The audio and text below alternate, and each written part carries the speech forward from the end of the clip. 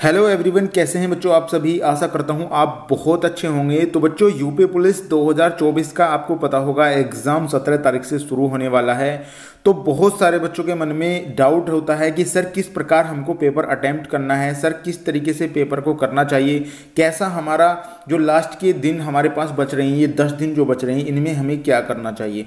तो इन दस दिनों के लिए ही आपको सिलेक्शन का मूल मंत्र देने वाला हूँ। यदि आपने ये दस दिन ये चीज़ फॉलो कर ली तो समझ लीजिएगा आपके नंबर बहुत अच्छे आने वाले हैं। यहाँ पे जीके रीजनिंग मैथ और हिंदी तीनों के बारे में बात करूँगा और अंतिम समय में कैसे तैयारी करें। और आपको एक चीज़ और बताने वाला हूँ, यहाँ पे मैं बच्चों के आपको बताने वाला हूँ कितने नंबर जो है आ रहे हैं। इससे आपको एक आइडिया लग जाएगा कि आपके नंबर कितने आ रहे हैं, क्योंकि बहुत सारे बच्चों ने मुझे स्क्रीन भेजा है तो उनको भी मैं डिस्कस आपके साथ करने वाला हूँ। तो बच्चों, वीडियो आपके लिए बहुत इन्फॉर्मेटिव होने वाली है। अगर आप यूपी पुलिस की तैयारी कर रहे हैं तो एक बार वीडियो को ज़रूर देखिएगा। तो चलिए बच्चों, शुरू करते हैं। देखिए बच्चों, पहले बात कर लेते हैं कि मात्र दस दिन, मैं मात्र दस दिन बता रहा हूँ आपको कि दस दिन में आपको किस तरीके से तैयारी करनी है। बहुत सारे बच्चों को यही पता नहीं होता कि सर अंतिम समय में क्या पढ़ें। हमारे ऐसा लगता है बहुत सारे बच्चों को कि सर हमें पता ही नहीं चल रहा, हमने क्या चीज़ पढ़ी है, क्या नहीं है। बिल्कुल सब मिक्स हो चुका है। तो बच्चों, ऐसी स्थिति आप ही के साथ नहीं, बहुत सारे बच्चों के साथ उत्पन्न हो जाती है। तो मात्र दस दिन की बता रहा हूँ आपको मैं। सबसे पहली बात है, आपको ये चीज़ देखना है कि आपने सिलेबस कंप्लीट किया है या नहीं है। बहुत सारे बच्चों का सिलेबस ही कंप्लीट नहीं होता है। अगर आपको ऐसा लगता है कि हमारा सिलेबस में कुछ चीज़ छूट रही है तो बच्चों बहुत जल्दी करके उसको कंप्लीट करिएगा कि हमारा ये सिलेबस है। जैसे मान लिया, अगर आपको लगता है कि हमें राज्यपाल जो है, हमारा छूट गया है इकोनॉमिक्स में, या आपका इकोनॉमिक्स में कुछ भी, आपका जो अर्थशास्त्र में कुछ भी छूट गया है तो उसको पहले कंप्लीट करिएगा। या आप लग सकता, आपको ऐसा लग सकता है कि हिस्ट्री में मेरा कोई टॉपिक है, वो जो है मेरा कंप्लीट नहीं हो पाया है। और कुछ ऐसा लगता है हमें कि रीजनिंग में हमारा ये टॉपिक है, जैसे आपको ब्लड रिलेशन होता है, जैसे ब्लड रिलेशन हमारा कंप्लीट नहीं है तो हमें ऐसा लगता है कि ये हमारा कंप्लीट नहीं है तो उन सवालों को जाके बिल्कुल अभी क्लियर करिएगा कि हाँ ये ये सिलेबस हमारा था जिसमें हमें प्रॉब्लम आ रही थी। अब बहुत सारे बच्चे ये चीज़ समझ नहीं पाते, अगर आपने टेस्ट मौखिक टेस्ट दिए हैं, अब मौखिक टेस्ट में उनके जो सवाल गलत होते हैं, ये चीज़ आगे बताऊँगा मैं, किस बच्चे ने किस तरीके से इंप्रूव किया, वो भी आपको बताऊँगा। तो अगर मौखिक टेस्ट हम देते हैं तो मौखिक टेस्ट में जो हमारे सवाल गलत होते हैं तो बहुत सारे बच्चे ऐसा करते हैं कि उन्हें इग्नोर कर देते हैं जो सवाल गलत होते हैं। यही कारण है कि आपका रिज़ल्ट घटता चला जाता है बच्चों, घटता चला जाता है, घटता चला जाता है और वो उसमें संशोधन नहीं कर पाते हैं। सबसे बड़ी रीज़न है, अगर आप कोई मौखिक टेस्ट दे रहे हैं और आप कि आप पर ब्लड रिलेशन का कोई सवाल गलत हो जाता है, या डाइस का कोई सवाल गलत हो जाता है, या दिशा संबंधी कोई सवाल आपका गलत हो जाता है तो आप तुरंत चैप्टर में जाइए, देखिए कैसे तरीके के सवाल हमसे गलत हो रहे हैं। अगर आप इस चीज़ पे पकड़ करेंगे तो मैं गारंटी देता हूँ दस दिन में आप कंप्लीट कर जाएँगे अपनी तैयारी को। तो अगर कोई सवाल मॉक टेस्ट में आपका गलत हो रहा है, ये देखिए अगर अभी अभी आपको क्या करना है मॉक टेस्ट नहीं देने। ये देखना है कि जो पहले मॉक टेस्ट आपने दिए हैं, उनमें किस तरीके के सवाल मैं गलत कर रहा हूँ। जनरल नॉलेज में किस तरीके के सवाल गलत कर रहा हूँ? मान लिया जनरल नॉलेज में आपका सवाल गलत हो रहा है, राष्ट्रपति से संबंधित सवाल गलत हो रहा है तो आपको राष्ट्रपति जाके पढ़ना है कि हाँ राष्ट्रपति से मुझे सवाल में दिक्कत है तो राष्ट्रपति मुझे है। अनुच्छेद से सवाल आपका गलत हो रहा है तो अनुच्छेद पढ़िए। मौलिक करते हुए सवाल गलत हो रहा है तो मौलिक करते हुए पढ़िए आप। तो यहाँ से आपको एक एक्टिविटी मिल जाएगी कि हाँ मुझको यहाँ पे प्रॉब्लम थी और मैं यहाँ से इसको मज़बूत मज़बूत करने वाला हूँ। तो आपका बिल्कुल सही हो जाएगा। ऐसे ही हिंदी में बात करते हैं। अगर हिंदी में आपका वाच्य गलत हो रहा है, हिंदी में आपका समास गलत हो रहा है या हिंदी में आपका रस गलत हो रहा है तो बच्चों, वहाँ गलती है कहीं ना कहीं। अगर आपने उस गलती को पकड़ लिया तो आप सवाल गलत नहीं करेंगे। अब बहुत सारे बच्चे, मैंने पहली वीडियो बनाई थी, उसमें भी मैंने आपको यही बताया था और लास्ट टाइम पे ये बता रहा हूँ कि अगर आप देखिए हिंदी में क्या चीज़ें गलत कर रहे हैं आप, बहुत सारे वर्तनी गलत करते हैं। चलो, वर्तनी मान सकता हूँ मैं, वर्तनी गलत हो गई आपके, हो गई, संधि आपकी गलत हो गई, बहुत बड़ा है चैप्टर वो संधि भी गलत हो जाती है। लेकिन अगर आप समास, वाच्य और आपकी क्रिया, विशेषण, ये चीज़ जो गलत कर रहे हैं ना तो इसमें आपको थोड़ा देखने की ज़रूरत है, उसमें आप एक बार ज़रूर देखिए। अब अभी क्या करना है बच्चों का? ये अभी क्या करना है? अब बहुत सारे बच्चे क्या करते हैं? अभी क्या करना है? क्या होता है? मैराथन क्लास लेनी स्टार्ट कर देते हैं। मैराथन क्लास लेनी स्टार्ट कर देते हैं, यानी अपना टाइम वेस्ट करना स्टार्ट कर देते हैं। बच्चों, सबसे बड़ी गलती है ये। बच्चों, सिर्फ़ आपको वही क्लास अब देखनी है जहाँ आपको प्रॉब्लम है।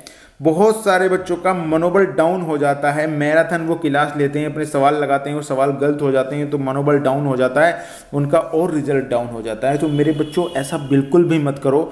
आपको अंतिम समय अभी क्या करना है? आपका जो भी सिलेबस है, जो भी आपके पास नोट्स हैं, वो चीज़ को रिवाइज करना है। मात्र दस दिन आपको ये चीज़ कर लेनी है बच्चा।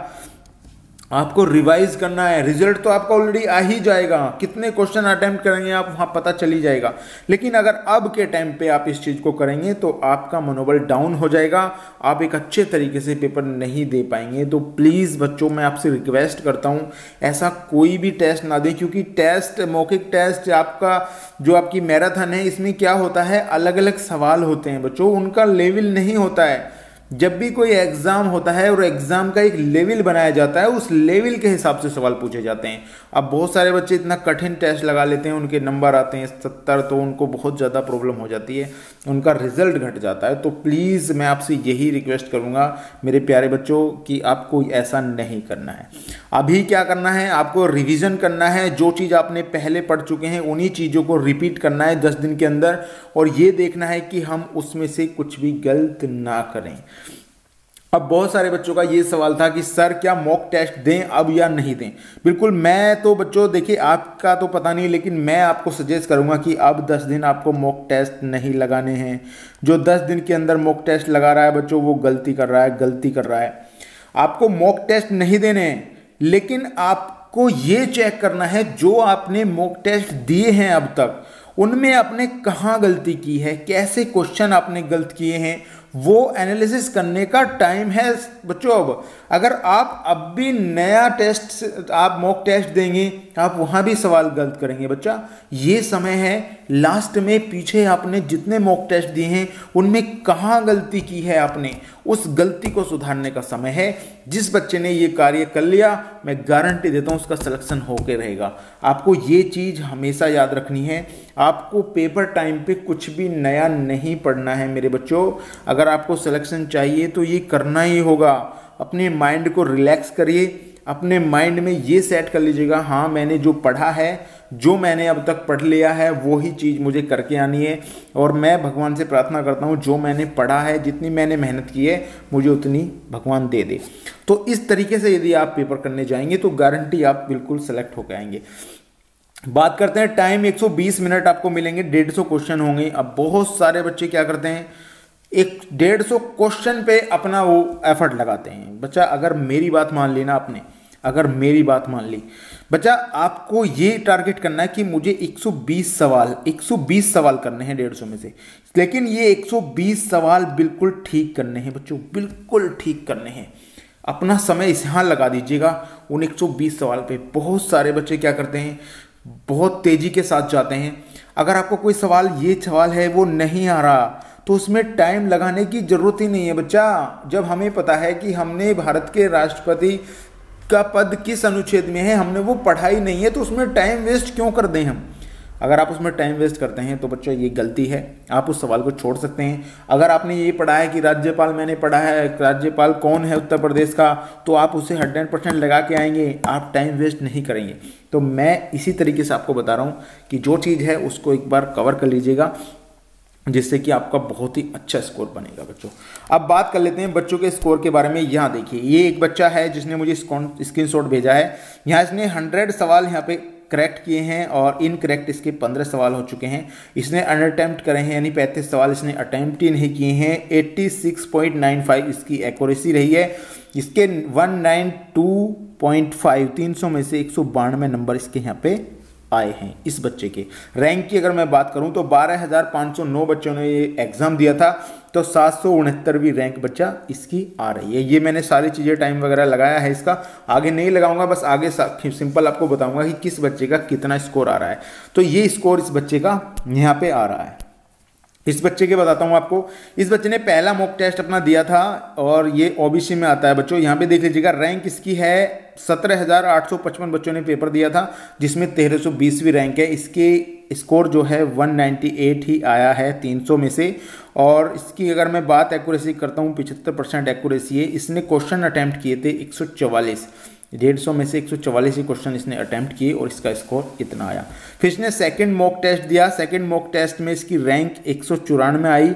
ग्यारह हज़ार तीन सौ अड़तीस बच्चों ने पेपर दिया था। दो सौ छब्बीस का स्कोर इसने किया था।